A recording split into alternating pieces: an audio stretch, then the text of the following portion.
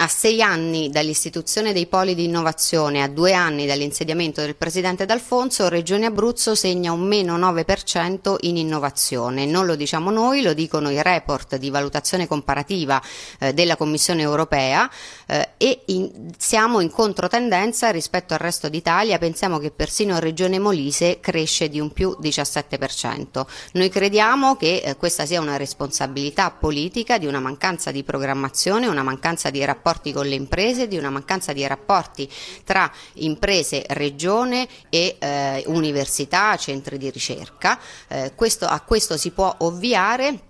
con degli studi specifici che non sono stati commissionati in Regione Abruzzo che potrebbero essere fatti sia internamente da Regione Abruzzo o affidandoli a delle società eh, di consulenza per valutare come sono stati effettivamente eh, utilizzati i fondi, quali risultati hanno portato, che cosa si è sbagliato e che cosa si può invece ripetere, questo per eh, far sì che i fondi europei non diventino come diventano troppo spesso assistenzialismo europeo ma aiutino le imprese a crescere in maniera strutturale. Parliamo anche dell'utilizzo dei fondi 2007-2013, quindi è tutta la politica in generale che non ha programmato e non ha programmato nemmeno una verifica dei risultati.